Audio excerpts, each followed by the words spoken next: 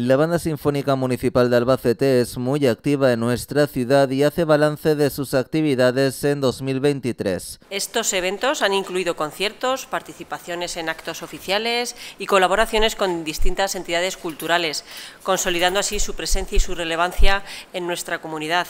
Toca la banda es uno de sus programas estrella de todos los años que consiste en fomentar la pasión por la música entre los jóvenes. Hemos hecho muchísimos actos, muchos conciertos.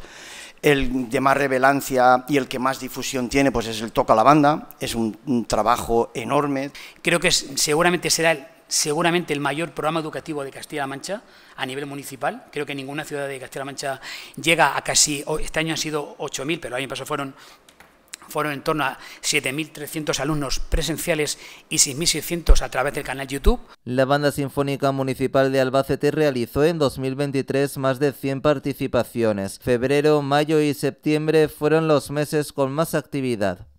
En cuanto al público que llegamos, eh, un total de 187.736 usuarios y vemos que aquí sí que septiembre es, vamos, es demoledor, ¿verdad? Como la feria es nuestro máximo exponente en el público al aire libre.